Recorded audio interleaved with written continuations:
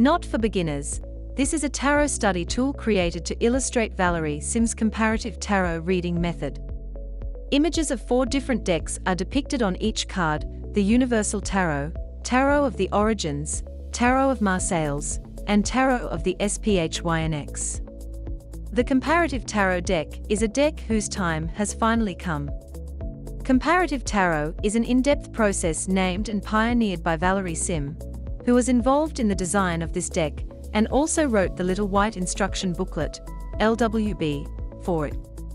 Briefly, the comparative tarot method involves comparing the same card from several decks for additional nuances and insight into the meaning of any given card or cards in a spread.